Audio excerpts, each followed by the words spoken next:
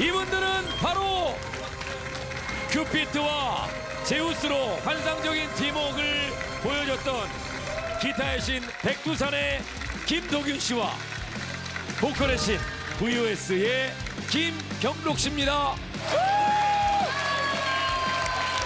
맞네 맞네. 시청자분들께 정식으로 인사하실까요? 네 안녕하십니까 예, 기타리스트 김도준입니다 반갑습니다. 네 안녕하세요. VS 막내 김경록입니다. 반갑습니다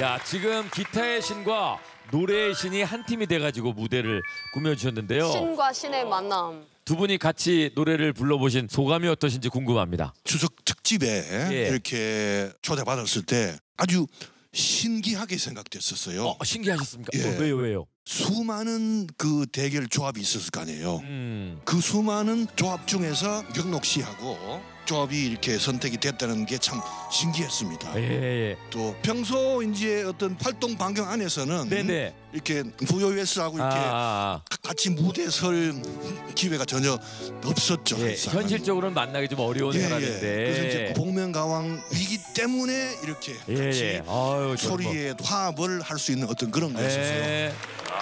맞습니다 맞습니다 형님. 저는 실은 선생님과 함께 콜라보를 한다고 해서 뭔가 좀 색다른 그런 콜라보가 될 것 같아가지고 나왔는데 네. 추석에 이런 즐거운 무대 할 수 있었어가지고 저도 참 즐거웠다고 생각합니다 그러게요. 네. 근데 1라운드 때 붙었던 분들이 고유진 씨하고 육중환 씨였거든요. 객관적인 전력에서 기타를 치자 그러면 이쪽이 앞섰지만 네 그렇죠 노래를 부르면 저쪽이 앞섰을 거라고 사람들이 예상할 수 있는데 그때 이겼던 원동력은 뭡니까? 어, 관객분들이 너무 저희 노래를 너무 즐겁게 잘 들어주셨던 게 아닐까 예, 예, 예, 예. 왜냐하면 1대1 대결이 아니고 이제 2대2 두엣 대결이니까. 듀엣 대결이니까. 그렇죠. 1대1 대결하고 조금 양상이 좀 달랐던 것 같습니다. 그렇죠, 아무래도. 그렇죠.